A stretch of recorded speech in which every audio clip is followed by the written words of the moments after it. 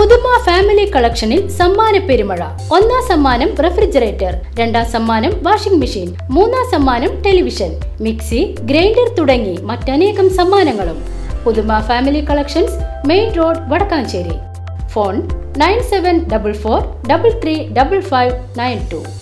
കനത്ത മഴയിൽ നിയന്ത്രണം വിട്ട കാർ ഇലക്ട്രിക് പോസ്റ്റിലിടിച്ച് മറിഞ്ഞ യുവതി ഉൾപ്പെടെ രണ്ടുപേർക്ക് സാരമായി പരിക്കേറ്റു. കഴിഞ്ഞ ദിവസം രാത്രി പത്ത് മണിയോടെ കുന്നംകുളം വടക്കാഞ്ചേരി സംസ്ഥാന പാതയിൽ എരുമപ്പെട്ടി വെള്ളറക്കാട് മനപ്പടിക്ക് സമീപമാണ് അപകടമുണ്ടായത്. കുന്നംകുളം പഴുന്നാന് സ്വദേശി കാരങ്ങൽ വീട്ടിൽ ഇരുപത്തിരണ്ട് വയസ്സുള്ള ഷാഹുൽ ഹമീദ് കുന്നംകുളം കാണിപ്പയ്യൂർ സ്വദേശിനി പൂവൻകര വീട്ടിൽ ഇരുപത്തിനാല് വയസ്സുള്ള ഫർസാന എന്നിവർക്കാണ് പരിക്കേറ്റത്.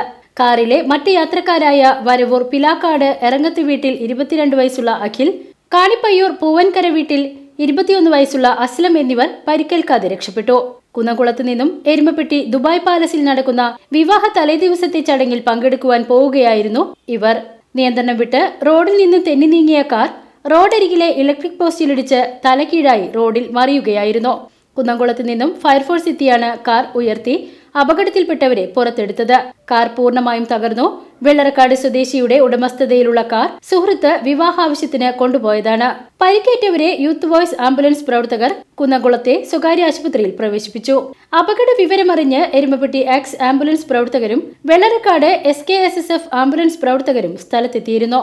അപകടത്തിൽ ഇലക്ട്രിക് പോസ്റ്റ് ഒടിഞ്ഞു വീഴുകയും വൈദ്യുതി കമ്പികളും കേബിൾ ടിവിയുടെ ഫൈബർ ഉൾപ്പെടെയുള്ള കേബിളുകളും പൊട്ടുവീണു. മേഖലയിൽ വൈദ്യുതി വിതരണം തടസ്സപ്പെടുകയും ഭാഗികമായി ഗതാഗത തടസ്സമുണ്ടാവുകയും ചെയ്തു.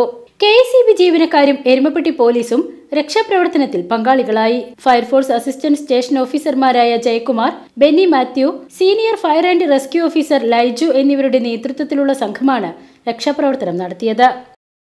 News bureau Erumappetty.